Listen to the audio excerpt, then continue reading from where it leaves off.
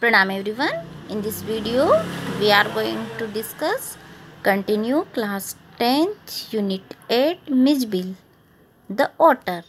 Let's start. The day passed peacefully at Basra, but I dreaded the prospect of transporting Mitch to England and to Camsferna. Basra में दिन शांतिपूर्वक बीते, लेकिन मुझे Mitch को England ले जाने में डर लग रहा था और फिर कैम्स फरना में। The British airline to London would not fly animals means British airline London जो है वो जानवरों को उसमें नहीं ले जाती। So I book the flight to Paris on another airline इसीलिए मैंने पेरिस के लिए एक दूसरी एयरलाइन से उड़ान बुक करी। And from there to London और वहाँ से लंदन को। The airline insisted that Mij should be packed into a box not more than eighteen inches square to be carried on the floor at my feet means airline ने आग्रह किया कि Mitch को एक बॉक्स में जो अठारह वर्ग इंच से ज़्यादा नहीं हो और उसे मेरे पावों के नीचे रखा जाए। I had a box made and and over before we started means मैंने एक बॉक्स बनाया और रवाना होने के एक घंटे पहले ही मीच को उसमें रखवा दिया। I put Mij in to the box so that it वो he would become accustomed to it and left for a hurried meal means और मैंने मिच को उस बॉक्स में रख दिया जिससे उसमें अच्छे से उसको रहने की हैबिट हो जाए और फिर मैं भोजन के लिए चला गया। When I return there was an appalling spectacle means appalling means एक भयावह दृश्य हुआ, एक शॉकिंग सीन मैंने देखा, जैसे ही मैं आया, मैंने एक भयावह दृश्य देखा। There was complete silence from the box उस बॉक्स में पूरी तरह से सन्नाटा था। But from it air holes and chinks around the lid blood has trickled and dried उसके जो हवा के सुराख थे और लीड था, उसके चारों ओर खून, संधियों से खून निकला हुआ था और वो खून सूख गया था।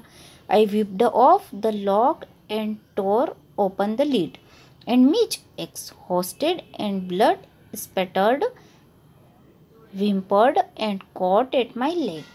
और मैंने ताले पे ज़ोर लगाया और ढक्कन को फाड़ कर खोल दिया मिस थका हुआ था और उस पर खून के छींटे थे ही had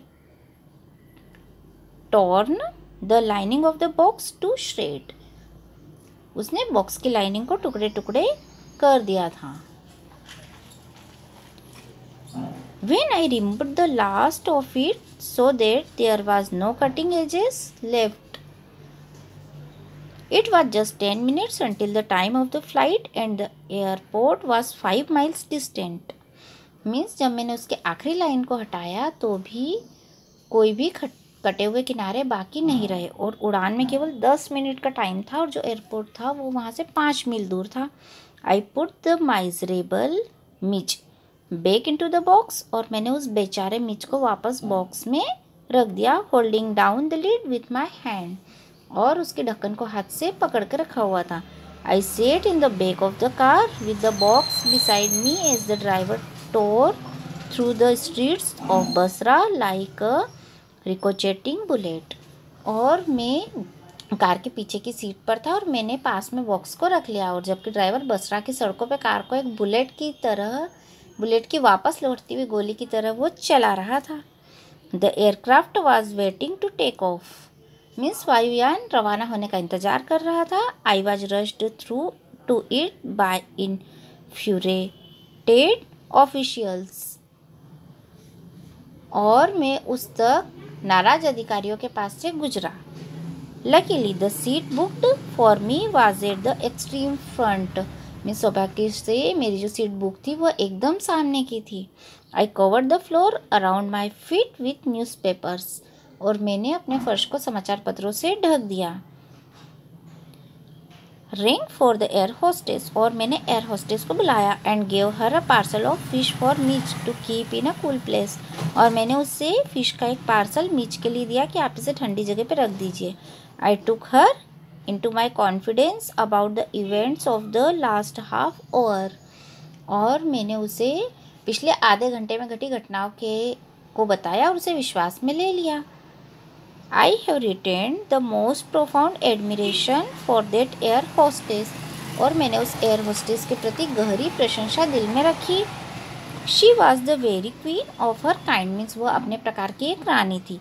She suggested that I might prefer to have my pet on my knee and I could have kissed her hand in the depth of my gratitude means उसने मुझे सुझाया कि मैं बक्से को अपने घुटनों पर रख लूँ और मैंने अपना आभार व्यक्त करने के लिए उसका हाथ चूम लिया। But not knowing otters I was quite unprepared for what followed किंतु उस बिलाव को नहीं जानने के लिए जो आगे घटा, मैं उसके लिए बिल्कुल भी तैयार नहीं था। मिस अब देखिए ये स्टोरी में क्या हो रहा है? ये जो है प्लेन में बैठे हुए हैं एरोप्लेन में जो हमारे राइटर हैं गेविन गेविन जो हमारे राइटर गेविन मैक्सवेल जो इस स्टोरी के राइटर हैं। गेविन मैक्सवेल वो बैठे हुए हैं और जो उनका ऑटर है, वो उनकी गोद में है।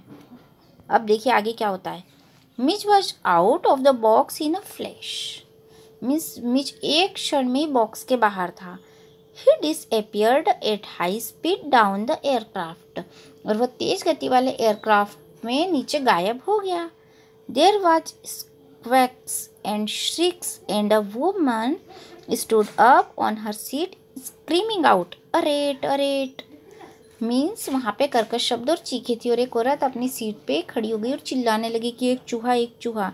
I caught sight of Mij's tail disappoint appearing beneath the legs of a portly white turbaned Indian और मैंने मिच की दुम को एक मोटे सफ़ेद पगड़ी वाले भारतीय के टांगों के नीचे गायब होते हुए देखा। Diving for it I missed but found my face covered in curry means मैं उसके लिए गोता लगाते लगाते मैं चुप गया, पर मैंने अपने चेहरे को करी से भरा हुआ पाया पर perhaps said the air hostess with the most charming smile it would be better if you resumed your seat and I will find the animal and bring it to you. Air hostess ने आकर्षक मुस्कुराहट से कहा कि शायद अच्छा होगा कि आप अपनी सीट पर वापस बैठ जाइए और मैं उस जीव को ढूंढ लूँगी और मैं उसे आपके पास ले आऊँगी। I return to my seat और मैं वापस अपनी सीट पर वापस आ गया और बैठ गया। I was my neck trying to follow the hunt when suddenly I heard from my feet a distressed chitter of recognition and welcome and Mij bounded on to my knee and began to nuzzle my face in my neck और तब अचानक मैंने मेरे पैर के नीचे एक व्यथित सी पहचानी आवाज़ सुनी और उसका वेलकम किया और बीच मेरे घुटनों पे आ गया और मेरे चेहरे और गर्दन को सूंघने लगा। ओके तो बहुत ही इंटरेस्टिंग चैप्टर है ये। हम इस चैप्टर को नेक्स्ट वीडियो में डिस्कस करेंगे। Thank you for watching this video and continue with